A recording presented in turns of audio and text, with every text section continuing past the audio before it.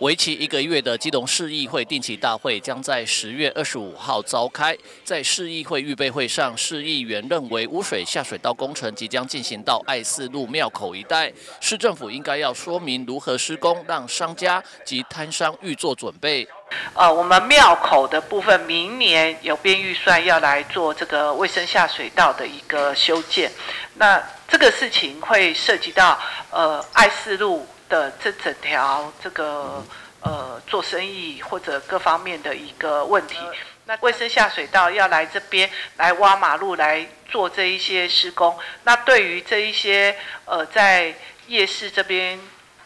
这个做生意的这一些摊商来来讲，他们可能他们的生意也会被影响到，那所以这个部分恐怕必须要提早预做。准备。另外，警察局报远景出走槽和监视器有没有装设好，涉及到治安的问题，市议员也很关心。在呃，基隆市长期以来面临到就是我们的离开的警力总是比较多，多过于是进来。那现在。呃，刚离开四十九人，那现在接下来的警力配置怎么应对，跟是否会有派出所再出现联合执行这件事情，我觉得要再麻烦警察局再做具体的报告。上个上半年度我们那个警察局监视器的进度，希望警察局还是要做这次的重点的报告，因为。呃，我们目前想要先了解现在监视器的更新进度，那这个治安的问题是民众非常关心的。而负责行销机动观光跟发布新闻的市政府官销处传出要裁撤改设儿童局的消息，议员同样很关心。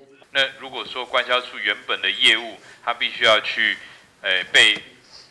转移到比方说文化局或其他的局处的话，那那个局处，比方说文化局，如果是未来是要承接。官销处的业务的，那他也要在这一次业务报告里面好好的报告。正常来讲，我们应该是要啊统一市政府来做局处的变更了之后，我们才可以并列的预算啊。所以我现在很担心的是说，我不知道市府会不会在现在才提案说啊我要变列。正常来讲，他应该在临时会就要提所谓的变更的部分啦。所以现在比较担心的是说，到底会不会他变更的跟预算同时并进来？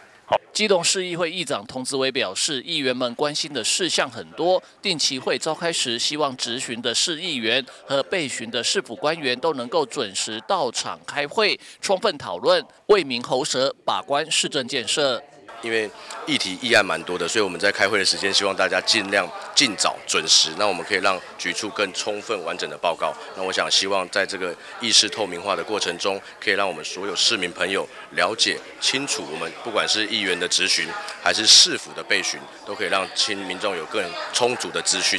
可以让我们大家了解基隆的这个政治的脉动。那我想，刚刚大家有议员提到这个官销处相关的传闻，因为我想，因为这个会经过议会要送审自治条例，不管你局处的裁并调整或任何的变更，都会经过整个议事的程序在走，所以如果没有送案进来，议会是不会审理的，所以基本上议员也可以放心。记者吴俊松，机动报道。